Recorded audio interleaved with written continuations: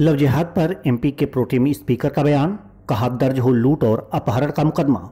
मध्य प्रदेश की विधानसभा के pro tem speaker Rameshwar Sharma ने कहा है कि लड़कियों के धर्म परिवर्तन करने वाले लोगों पर अपहरण और लूट का भी आरोप लगाया जाएगा। उनका यह बयान राज्य सरकार द्वारा लव जिहाद पर कानून बनाने के फैसले के बाद आया है। और क्या कुछ कहा है? आइए जानते हैं। मध्य प्रदेश में शिवराज जी की सरकार ने लव जिहाद पर एक कानून बनाने का निर्णय लिया है।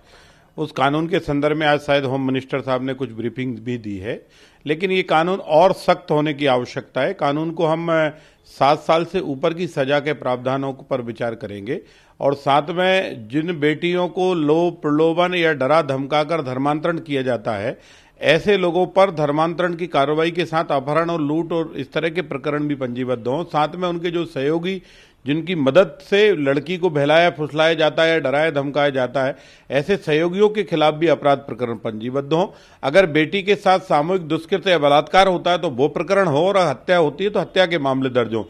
और जिसके घर में बेटी या बेटे का जन्म हुआ है तो ये तो निश्चित रूप से कि उस माँ बाप को तो जानकारी होना चाहिए कि मेरा बेटी मैंने पाल पोस कर बड़ा किया मैंने उसकी एजुकेशन दी आखिर वो किस धर्म में किस बेटा से शादी कर रही है वो आदमी कौन है? और इस तरह के धर्मांतरण पर कहीं ना कहीं रोक लगना चाहिए। Special desk TV one India.